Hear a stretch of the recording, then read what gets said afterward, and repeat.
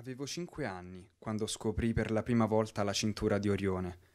Quelle tre stelle che risplendevano alte nel cielo notturno e che chiamavo, forse per la loro vicinanza e flebbilità, le tre sorelline. Pochi anni dopo ecco comparire il grande carro. Riserverò sempre uno spazio del mio cuore a quell'elegante schema di astri che mi ha fatto prematuramente pensare agli insondabili misteri dell'universo.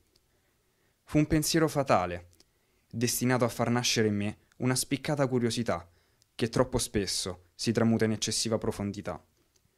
Ma non me ne dispiaccio. Anzi, ringrazio ancora il cielo stellato per aver dotato il mio volto di nuovi occhi attraverso cui poter meglio osservare la realtà che quotidianamente mi circonda. Pietra, albero, fiore, la meraviglia avvolge ora ogni cosa come anche un indefinito alone di mistero. Persino il monte Circeo, che a lungo mi ha deliziato con i suoi vivaci colori, sembra assumere un aspetto del tutto nuovo. La sua sinuosa forma, immersa nello splendore notturno, riecheggia epoche remote, quando ancora la terra non conosceva vita ed era caotico ammasso di polveri, gas e fuoco.